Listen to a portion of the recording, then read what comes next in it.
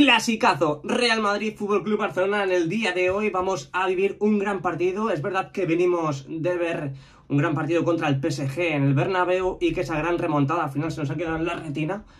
Pero hoy tenemos un gran partido. ¿eh? Hoy tenemos un gran partido a las 7, 7 y media en Sagrados Corazones para animar al equipo como el partido de la remontada contra el PSG. Da igual que el Barcelona esté a 10 puntos, que esté a 80, que esté a 120 puntos. Esto es un gran partido, da igual los 3 puntos. Esto es un gran partido, es un clásico, tenemos que ganar sí o sí. Benzema hoy no está, hoy Ancelotti le ha dado el día libre. Es verdad que ha recaído, bueno, que está lesionado, así que yo creo que Ancelotti lo que quiere hacer es reservarle. Es verdad que es un partido muy importante, pero yo creo que Benzema es más importante a final de temporada que realmente este partido. Es es verdad que Ancelotti en el fondo sabe de que hoy no tiene que arriesgar con Benzema. ¿Qué crees que hará Ancelotti en el, la punta de ataque? Pondrá a Asensio, pondrá a Isco de falso 9, pondrá a Bale.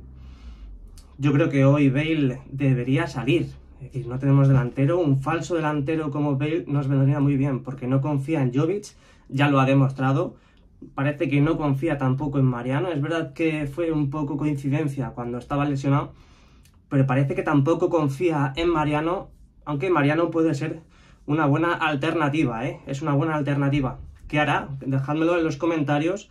¿Qué crees que hará el técnico italiano? Bueno, lo dicho, mi pronóstico para el día de hoy, para el partidazo de hoy, 2-1, ganamos. 2-1, ¿vale? Vinicius eh, tiene que salirse, Vinicius tiene que salirse, Modric tiene que hacer el partido de su vida. Es verdad que el Barcelona con V de Vendetta viene ahora mismo de unos fichajes importantes, recientes y que están resurgiendo ahora mismo de la nada, pero yo creo que es muy viable que les ganemos en nuestro gran templo blanco. Así que 2 a 1, ¿cuánto creéis que va a quedar? Dejadmelo también en los comentarios. Déjame todo en los comentarios, ya que sé, déjame también todo en los comentarios, como creáis.